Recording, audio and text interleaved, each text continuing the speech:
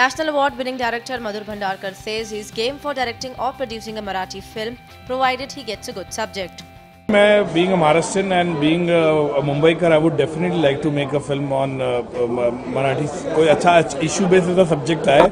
तो मेरी बहुत इच्छा है मैं अगर हिंदी फ़िल्म में बिज़ी रहूँगा लेकिन अगर मुझे लगता है कि प्रोड्यूस करनी है पिक्चर तो ऐसा कोई सब्जेक्ट आएगा तो मैं डेफिनेटली पिक्चर बनाऊँगा मराठी पिक्चर ज़रूर बनाऊँगा। Mathur is currently busy with his next Hindi directorial madam ji starring Priyanka Chopra in the lead his last film heroine that released in 2012 failed to impress the audience Vidisha Kemkar IANS